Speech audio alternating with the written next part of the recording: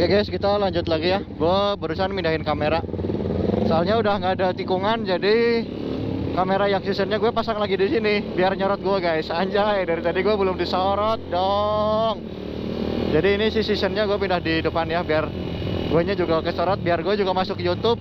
Gue juga kepingin masuk YouTube. Eh, siapa tahu nanti mak gue di Jawa nonton. mak, gue masuk YouTube mak. Oke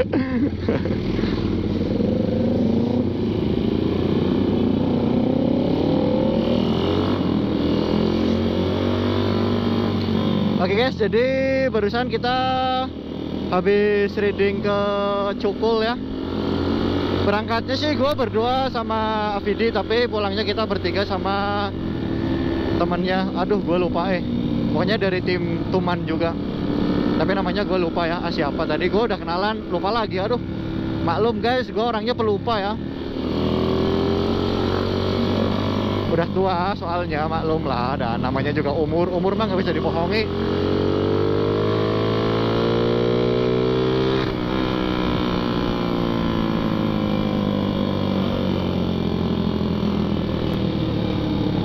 Ini udah sore, gue langsung pulang ke pastor kayaknya, tapi gue mau mampir dulu sebentar ke daerah Muhammad Toha, mau ke KP6 ya, eh, custom knalpot. Jadi gue mau bikin DP killer guys.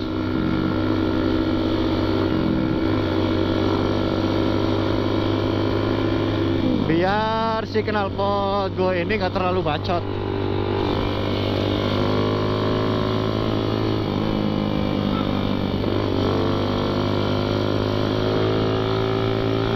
Sekarang kan razia di Ledang lagi sering eh razia. Sekarang kan San Mori di Lembang ya lagi bahaya di Ledang lagi sering ada polisi. Jadi gua kenapanya harus dikasih DB killer gitu biar nggak terlalu bacot guys. Jadi motor tetap safety eh, nggak mampet ya kompresinya nggak mantul nggak balik. Tapi knalpot keluar gitu guys powernya mesin juga keluar nggak ngaganggu ke power. Nah ini udah di simpang nih simpang mana? Nggak tahu lah pokoknya simpang. Oke kita pisah di sini ya.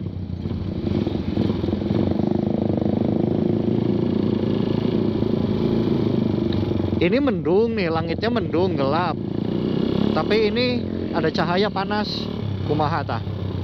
Teuing ngurang kita apal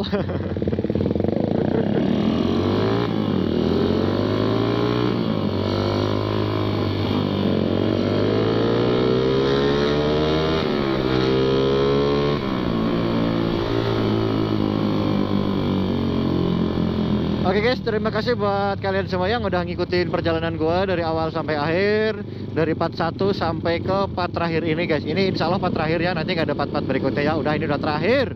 Gue udah capek lah lumayan, mungkin dapat lah 5 atau 6 konten ya. Alhamdulillah ya guys, terima kasih buat uh, video yang udah nemenin reading gua Yang udah nemenin nyetok gua konten ya Soalnya gue minggu depan bakal ke Kertajati Jadi gue minggu depan kayaknya nggak ada waktu lagi buat konten-konten guys. Ya kalaupun ada mungkin gue kontennya di Kertajati gitu. Jadi rencana gue ke, ke, ke Kertajatinya mau bawa motor nih.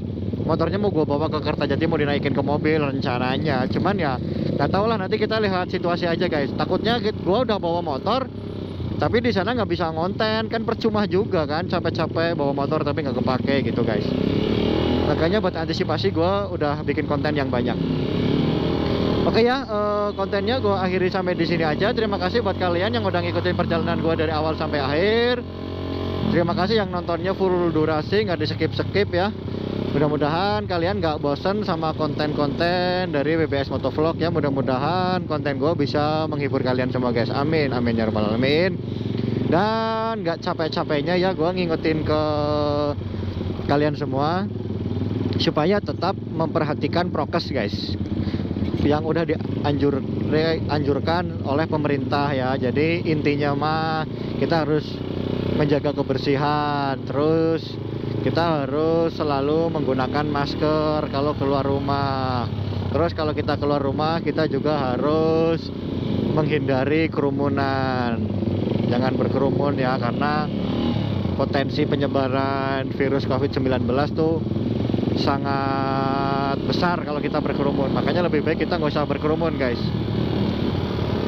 Kalau pacaran duaan boleh nggak bucin gitu? Boleh. Bucin mah boleh. Kan bucin bukan berkerumun. Pacaran kan duaan. Jadi itu namanya nggak termasuk ke kategori kerumun guys. Jadi yang kalian yang suka ngebucin ya lanjutkan saja. Supaya meningkatkan imunitas tubuh kita juga sih.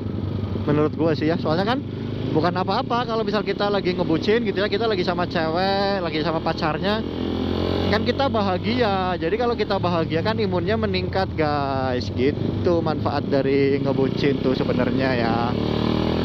Dan ini kondisinya macet banget. Gue nggak berani kebut-kebutan. Kalau macet itu AVD udah di depan banget. Jauh.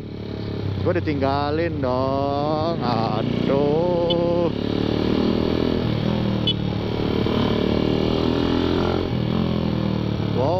gue ditinggalin. Oke gue susul lagi ya. Jangan terlalu jauh ninggalinnya. Woi bisi gue hilang. Nah itu di bagel belakang motornya Aroni gue tempel ini bracket GoPro. Soalnya tadi uh, season 4 gue ditempel di belakang situ ya buat ngambil view.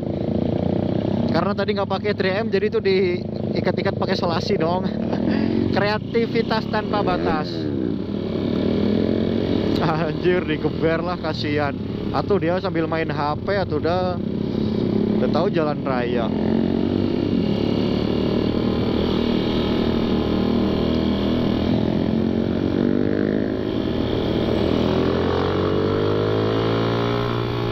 Nah ini mendung banget guys. Aduh aku curiga mau hujan ya. Mudah-mudahan sih nggak hujan Mudah-mudahan